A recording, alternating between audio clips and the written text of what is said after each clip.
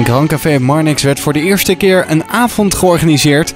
Speciaal voor singer-songwriters. Dit is de eerste keer dat uh, Summer Evening uh, at Marnix uh, georganiseerd wordt. Ja, wij hebben gemeend een wat andere avond in de Heideweek te moeten organiseren. En we hebben in Ede ontzettend veel singer-songwriters. En ik heb al een aantal avonden voor deze singer-songwriters georganiseerd. Vanuit het project Open Podium. Dat voer ik uit voor Cultura. En uh, Welsteden is eigenlijk de uitvoerder, mijn werkgever. En uh, ja, wij vonden eigenlijk dat we wat, wat tegenwicht moesten bieden aan uh, de hoempa, zeg maar, die over het algemeen op het Museumplein plaatsvindt. En we vinden ook eigenlijk dat juist de Edese talenten aandeel moeten hebben in de Heideweek. Heeft het zin om een nacht over wakker te liggen en je af te vragen waarom het mij... Nee, ik ga niet spelen. Nee, ik ga gewoon luisteren. En hoe bevalt het tot nu toe? Tot nu toe goed, maar ik heb nog niet zo heel veel gehoord. Nee. Hey, is dit de eerste keer dat je hier komt? Kom je hier vaker? In Marnix is dit de eerste keer, ja. Wat vind je ervan? Ja, wel gezellig tot nu toe. Ja. Hey, uh, nu is het ook Heideweek. Het heeft wat met elkaar te maken, dit podium en de Heideweek. Um, vind je dit nou een goed evenement voor de Heideweek? Uh, jawel, want ik ga niet zoveel naar dingen van de Heideweek eigenlijk. Dus dit is eigenlijk het enige waar ik naartoe ga volgens mij dit jaar. Dus met dit evenement spreek je een soort van nieuw publiek aan? Ja, dat denk ik wel, ja. Sta je met Rosanne Bluffpand. Jij hebt net gespeeld. Ehm, hoe ging het? Ja, eigenlijk wel goed. Het was weer een beetje improviseren met het hele bandje. Dat is het altijd wel een beetje, maar ja, het is eigenlijk wel goed gegaan. Het was wel leuk. We genoten, het was alleen heel erg warm.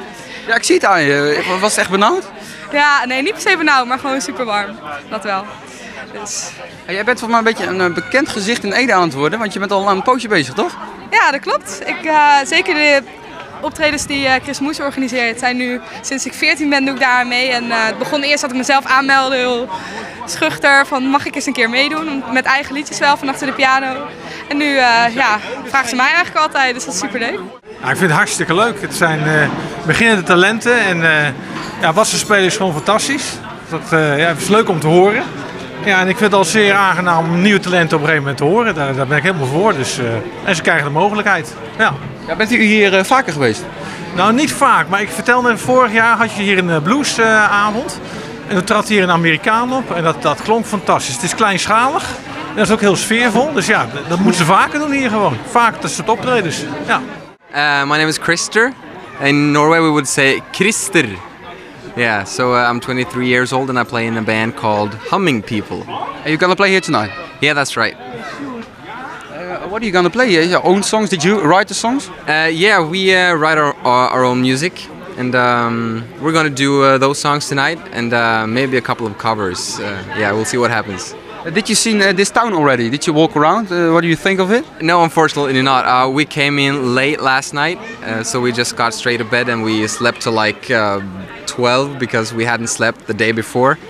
Uh, so today has been really lazy. I mean, we've been driving a little bit around and uh, we saw a park right outside this town and, uh, town and we wanted to play football there but didn't have time for it. So maybe tomorrow.